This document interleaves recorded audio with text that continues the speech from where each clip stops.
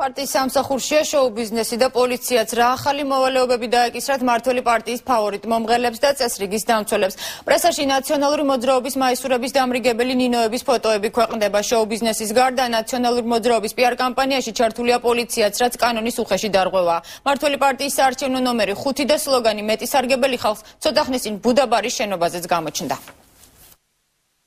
ფოტო რომელზეც მომღერალი მაყურებელს ხუთ ნომრიან მაისურს ესვრის სოციალურ ქსელებში გავრცელდა. ნინო ჩხეიძე ანდრი ჯოხაძე ნინი ბადურაშვილი ეკა კახიანი ლელა წურწუმია ჯგუფი სეიშენი. ეს ნაციონალურ კონცერტებში მონაწილე მომღერალთა არასრული ჩამონათვალია.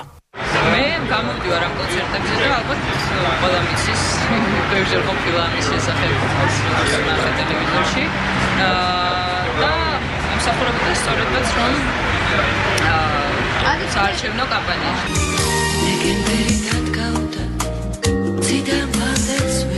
მიუხედავად იმისა, რომ თავდაცვის სამინისტროში მუშაობს, კონცერტებში აქტიურად მონაწილეობს ნატო გელაშვილიც, თუმცა როგორც მომღერალი და კომპოზიტორი განმარტავს, ის შვებულებაში იმყოფება და მისი კონცერტზე გამოსვლა კანონდარღვევად არ შეიძლება ჩაითვალოს. რომელი კანონდარღვევა, ჩემო ქალაქო, მე ვარ სამოქალაქო პირი, მე არა ვარ სამხედრო პირი. და შეიძლება მივედი იქ იმისთვის, რომ ბავშვები დაღუპული მეომრიშვილებს ვასწავლო. პიარ ტექნოლოგიების სპეციალისტები ამბობენ, რომ შოუ ბიზნესის ვარსკვლავების პოლიტიკური აქტივობა ნაცადი წინასაარჩევნო მეთოდია.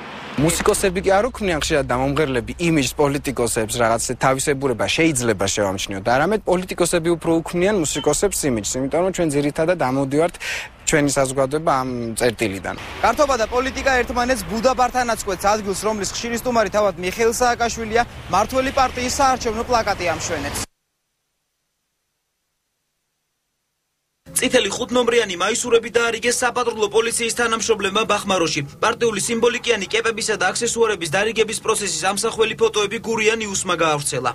ეს არის სერიოზული სერიოზული დარღვევა დადასტურების შემთხვევაში რომ მოქმედი პოლიციის თანამშრომლები ფაქტობრივად ჩართულები არიან წინასაარჩევნო კამპანიაში და აგიტაციაში რაც შეეხება ძალოვან სტრუქტურებს, ამის ცალკე ჩანაწერებია, როგორც საქართველოს კონსტიტუციაში, ისე კანონში პოლიციის შესახებ პოლიციის თანამშრომლებს ეკძალებათ როგორც პარტიის წევრობა, ასევე რომელიმე კონკრეტული პარტიის წინასაარჩევნო კამპანიაში და აგიტაციაში მონაწილეობის მიღება.